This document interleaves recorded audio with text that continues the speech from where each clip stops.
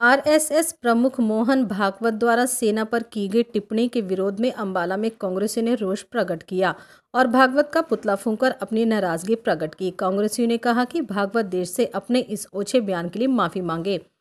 Youth Congress के प्रदेश सचिव अतुल महाजन की अगुवाई में कांग्रेसी अंबाला कैंट के कांग्रेस भवन में इकट्ठा हुए, जहाँ कांग्रेसियों ने देश के शहीद सैनिक को, को श्रद्धांजलि अर्पित करने के बाद संघ प्रमुख मोहन भागवत का पुतला आग के हवाले करके अपना गुस्सा ज़ाहिर किया।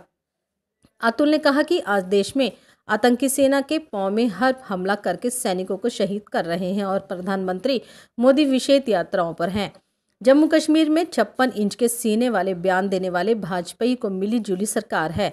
रोज सीमा पर सैनिकों पर हमले हो रहे हैं और ऐसे में जम्मू कश्मीर की सरकार सेना पर पत्थर बरसाने वालों के केस वापस ले रही है। सीनियर कांग्रेस नेता रतनलाल टांक ने कहा कि आरएसएस चीफ ने सेना और आरएसएस का जो तुलनात्मक अध्ययन लोगों के सामने पेश किया है, वह शर्मसार करने वाला है, जिस पर उन्हें पूरे देश से माफ़ी मांगनी चाहिए। वहीं सीनियर कांग्रेसी रतनलाल टांक ने कहा कि मोहन भागवत ने सैनिकों का मनोबल गिराने का काम किया है, जिसके लिए देश उन्हें कभी माफ़ नहीं करने वाला। वह एक बार सीमा पर जाकर देखें कि सैनिक किन हालातों में रहकर भारत माता की रक्षा कर रहे हैं, उनकी गलतफहमी दूर हो जाएगी।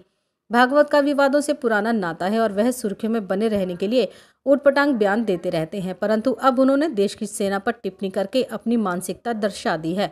कांग्रेस पार्टी इसकी घोर निंदा करती है। अम्बाला से कृष्ण बाली, आज़ाद टीवी न्यूज़। पूरे देश को है, युवा कांग्रेस को भी है। उसका हम हिंदुस्तान में रहने वाले हैं, हमारे सैनिकों का अपमान करा इन्होंने।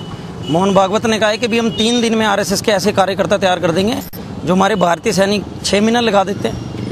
इनको बोलने से पहले सोचना चाहिए कि भैया ये किसके बारे में बोल रहे हैं और क्या चीज़ बोल रहे हैं।